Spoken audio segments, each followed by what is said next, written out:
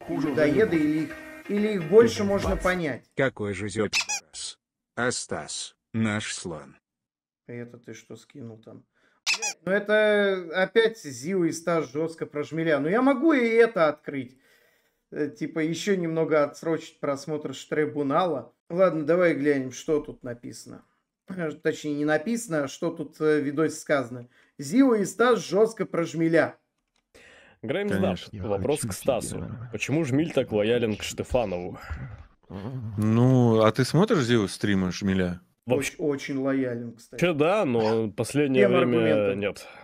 А я наоборот, последнее время даже на Boosty подписался, чтобы там, ну там, кстати, так мало подписчиков, я прям, э, ну я там вообще, я думал там, ну из комментариев, знаешь, какие-то тезисы. У Жмеля просто, Если На Boosty мало подписчиков, там больше тридцатки. Просто там не все подписчики именно Boosty, там Boosty прикреплено еще привязано к э, VK Play Live, и поэтому просто фолловеры VK Play Live вроде как засчитываются, как и подписчики на Boosty, что, ну, как бы не всегда, не, не всегда совпадает с тем, что они на Boosty какой-то контент смотрят. блин, мне э, не нравится смотреть нарезки с вырезанными донатами, потому что у, Зме- у Жмеля у него, э, у Змея, э, у Жмеля у него офигенные зрители, они очень крутые замечания дают. Я на самом деле некоторые тезисы у них часто беру.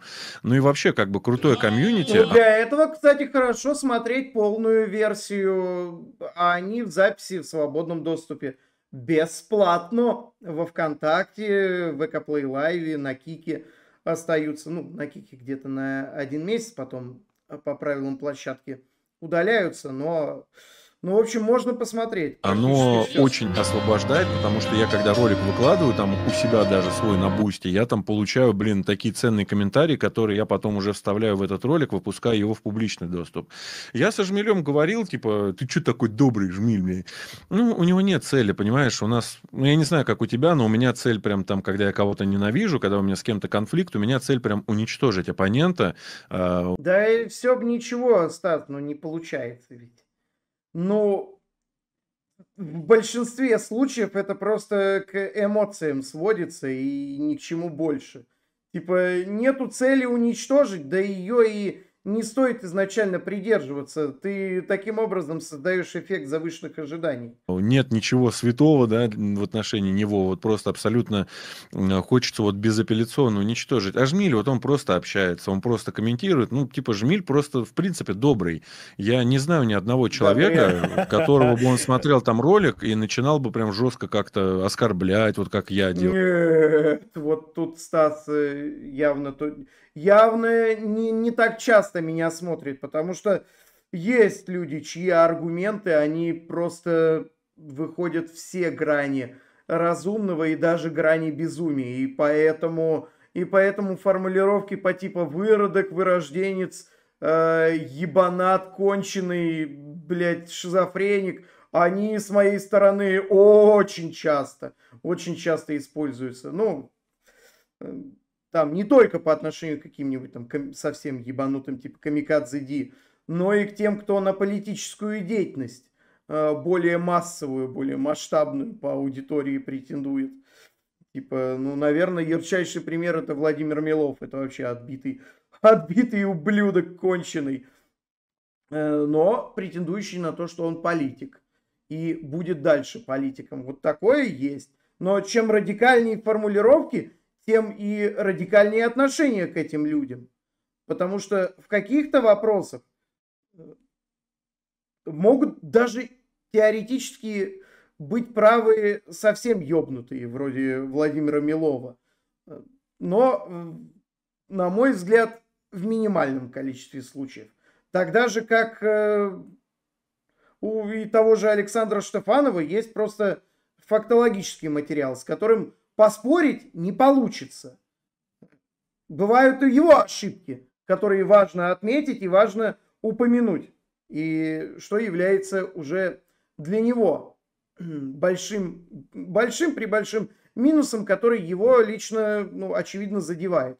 Что он не любит допускать фактологические ошибки. И по этому поводу и нужно э, также работать. Как и манипулятивный момент.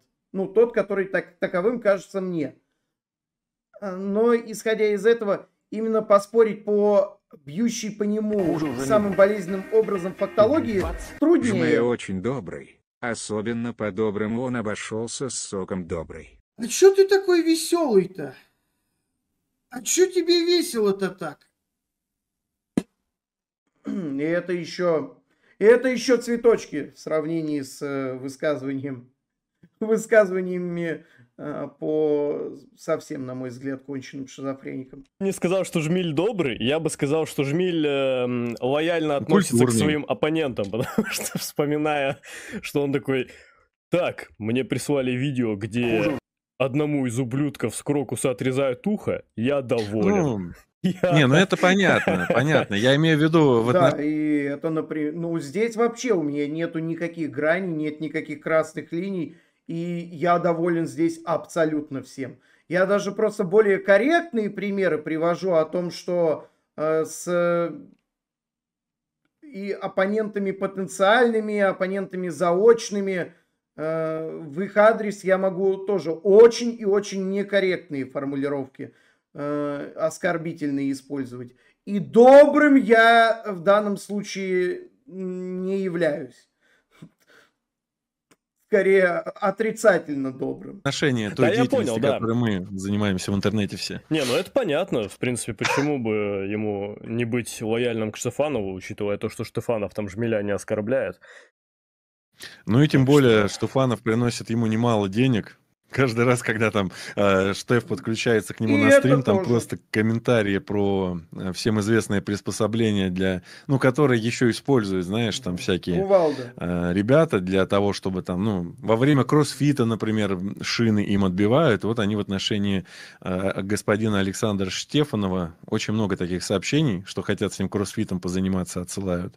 И поэтому Жмиль, я думаю, тоже доволен.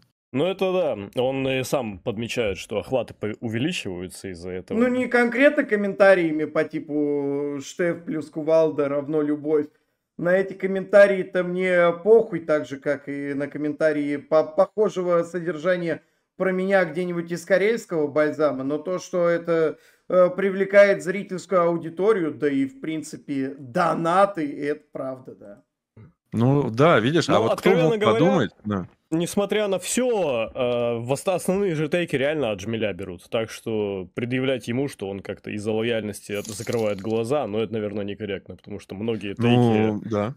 все равно они идут от Жмеля, он э, смотрит-то достаточно объективно на картину, так что... Ну, я вообще никого не знаю вот там из YouTube пространства, кто бы в истории Очень современной России меня, разбирался да, лучше кстати. него. Ну вот реально, он там какие-то вещи говорит, потом лезешь за ним проверять, и такой, о, реально, еще там что-то подмечаю. Поэтому, слушай, я э, некоторые Норин, ролики наверное. Да, здесь кто кого смотрит, да. И вот, например, э, правильно упомянул Зью, Ев- у Евгения Норина, я думаю, побольше инфы, чем у меня. И таких людей до хрена, просто охват их аудитории, их медийность тоже важна, и не, всег- не, не всегда много аудитории у таких людей.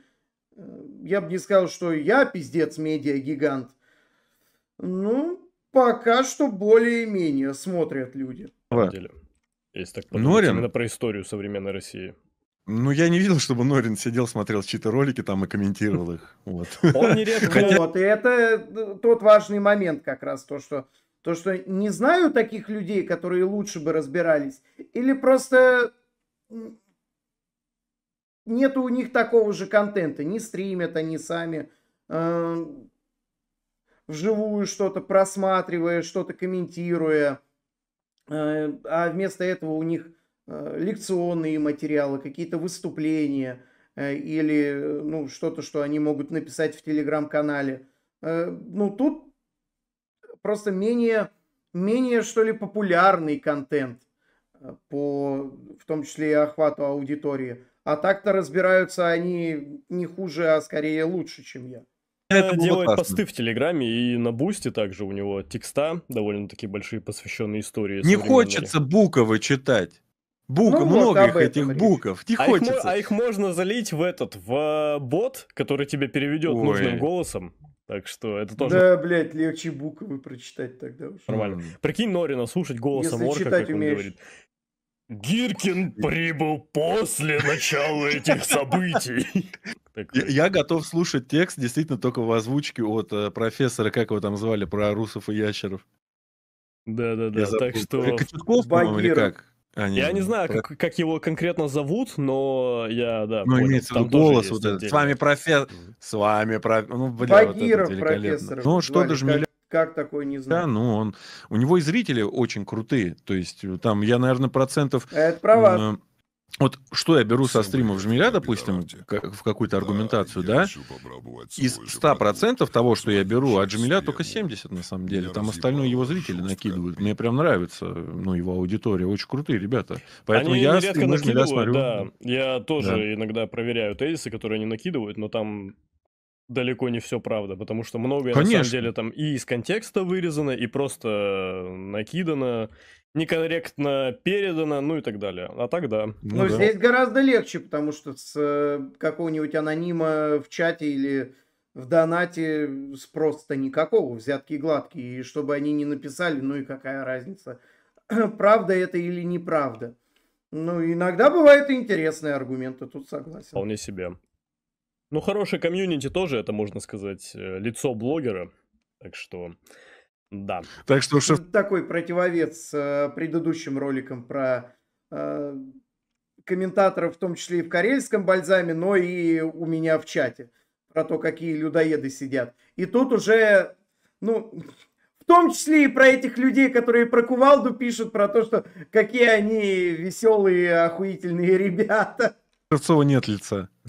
Ну, у Жмеля anyway, кстати, комьюнити очень токсичное, но, но, оно разнообразное, я бы сказал так, даже так. То есть, когда у Мне него кажется, обычно люди мы тысяча, токсичны. обычно у него если тысяча, две зрителей, то все идет такие, ну так, э, как обычно. А вот когда зрителей больше, там столько токса, это пиздец. Кто-то Ну, в видео слушай, что-то не так сказал, моргнул, все нахуй. Не сравнить с э, аудиторией Хесуса. Это уже сделал про себя и, и про попытки, наверное. Ну, запуск рубрики «Кто разъебет Александра Штефанова», когда аудитория надеялась, что вот сейчас Зио придет и аргументационно разъебет Штефанова без права на реабилитацию, и потом в самой дискуссии разочаровались и стали писать, что да, клоун пришел какой-то, ну и хуйня. Да, про токсичность аудитории все-таки целиком и полностью согласен. Там, конечно, Ну, это да, это тоже. Но мне кажется, anyway, у Подожди, что? да, там, конечно. не так сказал, моргнул, все нахуй. Не сравнить с аудиторией Хесуса. Там, конечно. Ну, это да, это тоже. А вот и, и тоже про мне кажется, Хесуса. anyway, у любого там блогера, у которого большой онлайн, такие зрители все равно будут.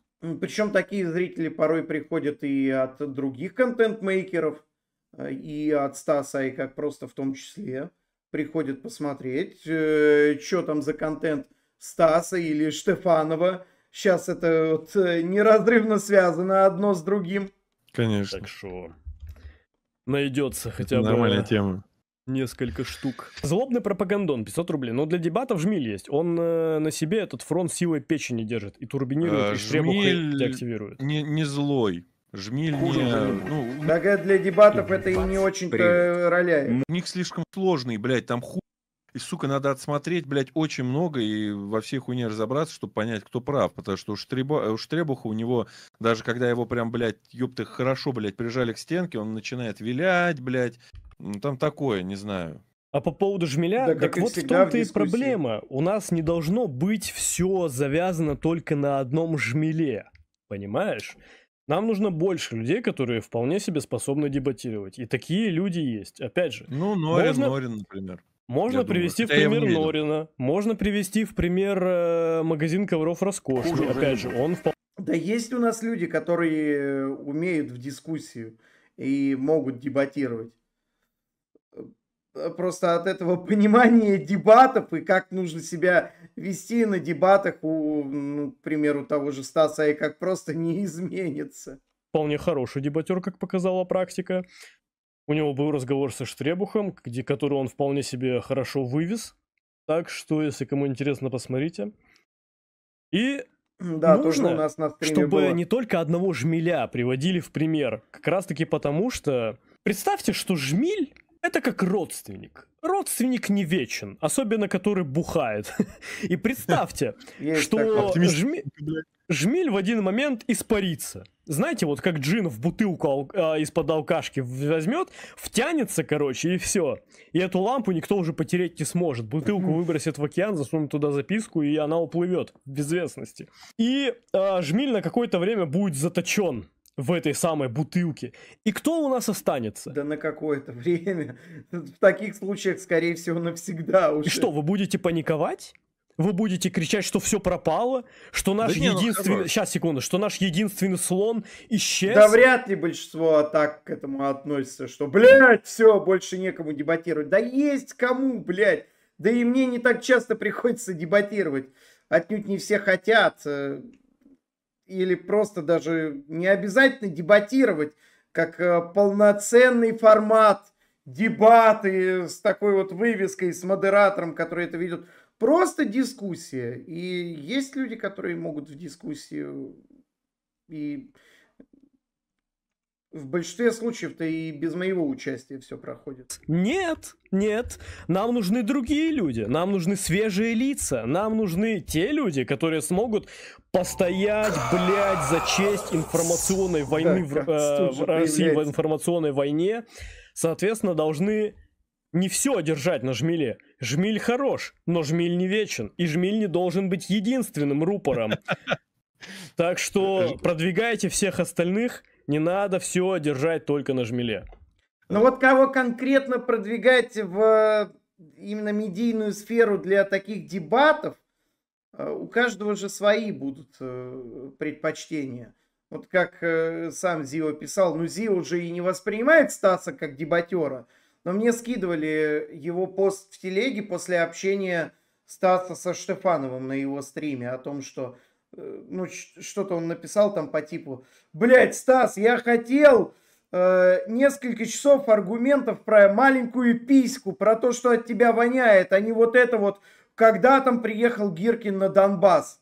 Вот, значит, уже по дефолту Стас такой контент не может в понимании Главное не Зио. дебатировать Ну на и тему действительно не очень получается. То есть вот э, Зио э, Стаса и не подразумевает э, в такой формат контента. Но есть, как он сам говорит, и я с ним согласен, Евгений Норин. Тоже очень э, с аргументационной точки зрения э, хороший и неудобный для оппонентов э, дебатер. Но как часто он с кем-то дебатирует, готов дебатировать, это уже следующий вопрос. То, что продвигаете других, в зависимости от того, насколько они сами этого хотят. Звучит как, блядь, жмиль это какая-то, знаешь, э, эссенция, блядь. Да. Но это слишком, да, сильно звучит. Потому что, Хуже уже не будет. смотря куда и с какими А если аргументами бы у еще тебя возьмут. была А, ж- Ну, а у что, меня так с батей работает. думаешь, жмель человек, что ли? Да. Кто Короче, может мы будем- выдержать столько э, функций ёбнем и столько хуйни, да. Да не, будем ебать, э, блядь. У него даже ёбнем, понимаешь, у него даже функция называется, это функция, блядь, которая активируется, как у робота. Блядь. А что если жмиль это функция? Функция жмиль. Блядь, Так а чел, его даже в дрона превратили, жмиль 17, блядь. Соловьев говорил о гранатах, жмиль 17. Ты думаешь, это человек? Это бренд, это как Skynet, понимаешь? А прикинь, он потом Видишь, эволюционирует. какой уровень. Но брендом ведь действительно стало.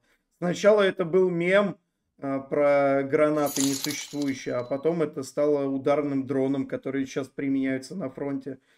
причем без моего ведома, блядь, даже появившись. Ну, я бы не сказал, что я против этого. Типа, это называйте как хотите, и Жмиль 17 в том числе. Э, и ну, да- даже круто это выглядит. Но это бренд теперь. Эволюционирует в шмеля. Жмиль, прости, я любя просто. А что тут было-то? Это сейчас за что было извинение, я не понял. Типа, тут просто видео называется «Зио и Стас жестко про змеля». Ну что ж, вот, вот так вот жестко. Не знаю, за что в конце решил извиняться, Стас. Да, Жесткач тут лютейший был, но и тут отчасти Хуже только прав Зио. Э, в общем, не, не сводится все на мне, и так это и не работает. Просто другие люди не всегда стримят, и контента у них, с позволения сказать, контента, ну, я не, не все, что у меня на стримах происходит крутым контентом-то сам считаю. Э, у них такого не так много в другом формате, в видео формате, меньше готовности к формату очному, чтобы дебаты полноценные были. Но я думаю, что Евгений Норин, которого упомянул Зио, он э, еще более неудобный для э, большинства оппонентов был бы. Ну, тут надо было бы посмотреть, как и с кем бы он дебатировал. А, ну, с моей стороны, да, когда мы общаемся с кем-то. Зачастую это не очень жестко. В зависимости от того, переходит ли оппонент, переходит ли собеседник на режим турбинирования. А режим турбинирования у нас, ну, есть в интернете несколько любителей, ставших профессионалами в своей сфере. И выглядит это Кстати, просто нелепо. Я